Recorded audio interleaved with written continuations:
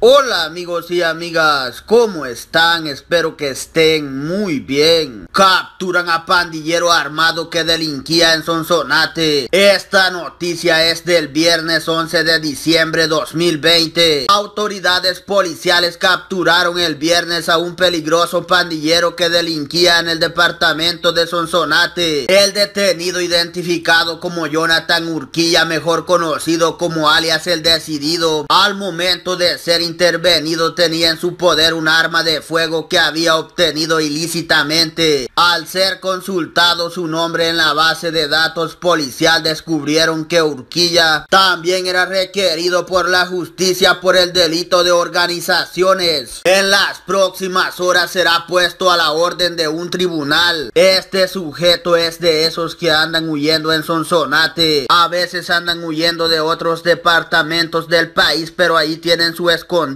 pero la Policía Nacional Civil ya anda haciendo operativos en Sonsonate. Hace poco agarraron a bastantes en ese lugar. Voy a pasar a otra noticia, amigos y amigas. Pandillero que le quitó la vida a alguien sale en libertad. Muchas personas lo están publicando en Twitter, en Facebook y todas esas redes sociales. Este hombre se llama Mario Argueta Bonilla, alias el B1. Salió del penal Ciudad Barrios, estuvo por quitado la vida a una persona. Este hombre anda suelto por San Miguel, así que amigos y amigas tengan mucho cuidado. No sé cómo estas personas se dieron cuenta de esto, pero quise traer esta noticia a mi canal. No se sabe cuántos años estuvo preso este sujeto, lo único que se sabe es que salió ahora.